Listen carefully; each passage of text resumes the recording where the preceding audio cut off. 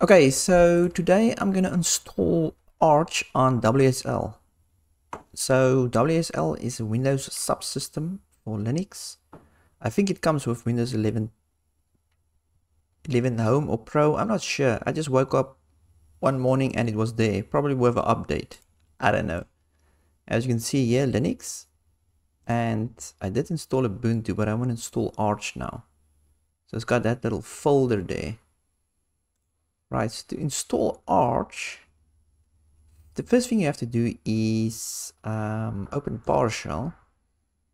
So I think this one, yeah, it's this one.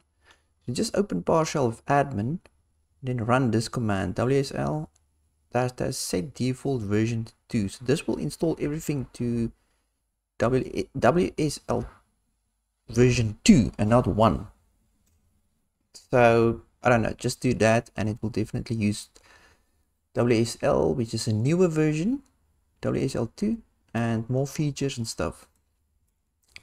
Right, so once that is done, you need to download the Arch zip file. So this, I suppose, is like an image that it just dumps on WSL and it works. So let's go to the website. So this is on the github.com I will put it in the description. Is it now this one? Yeah. So obviously you can Google this. You can Google WSL Arch Linux and it will bring you to this web uh, to this GitHub page. Download this first one arch.zip. So I've downloaded downloaded it here into my download folder. Uh, arch.zip and then extract it into this folder and then all you have to do is run this arch.exe this executable. So if we run that it's going to give you this warning. Let's go to more info and run anyway. Hopefully it's not a crazy virus. I'm sure it's good. If uh, it feel if, if it feels a bit risky just run it in a in a virtual virtual machine Right, so installation complete. So it copied all the files over. Let's press uh, continue.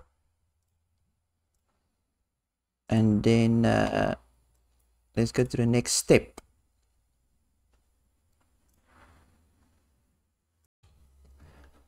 Okay, so the next step, there it is. There's no next step. I went through seven hells of Hades to get to this point, and it still doesn't work really. So, uh, yeah, this is just to show that Arch KDE Plasma does work on WSL. And it works fine. I can open everything or anything. Let's choose dark mode. Uh, apply that. Right. There's the file manager.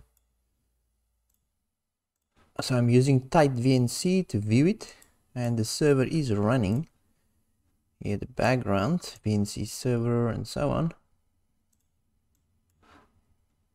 Uh, but yeah it's a bit disappointing because it didn't want to uh, run the normal way. So what what I had to do was actually just copy and paste this straight into the terminal and run it so it will kill any uh, previous VNC server servers that's running. And then that's the resolution output. So it just sets that. And then the password, localhost. And then it pretty much just run these. The desktop session, it's Plasma. X11. KDE. And so on and uh, yeah then then it runs but it's not really so what I have to do is I'm opening up my arch. So, one, so once it's installed you'll have this this uh, arch terminal. And then all you have to do is copy and paste all of this in here run it then open up your TightVNC you just kill that quickly. Uh, I can run that. Uh, oh, anyway, if you run it, it will start running and loading everything and then open your VNC viewer, localhost, port 5901, connect password that you set earlier, it has to be six characters. Put that in and boom, it runs your session. So that is basically it, but I found that if you stop everything, it doesn't save anything. Let's see if uh,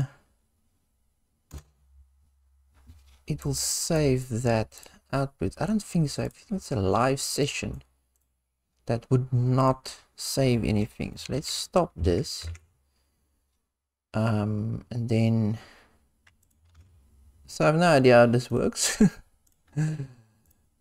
but uh, oh might, might as well run it yes run it there oh i should have i should have stopped it there well, let's just stop it completely let's go let's go kill that right nothing is running now i'm gonna copy this in.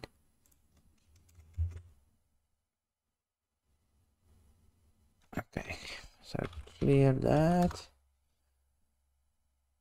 Paste that in. Run it. So it will kill any session that was there before and then open up my TightVNC connect password. Oh let's save it. Oh okay okay now it seems to be working fine then but there must be a better way to run this though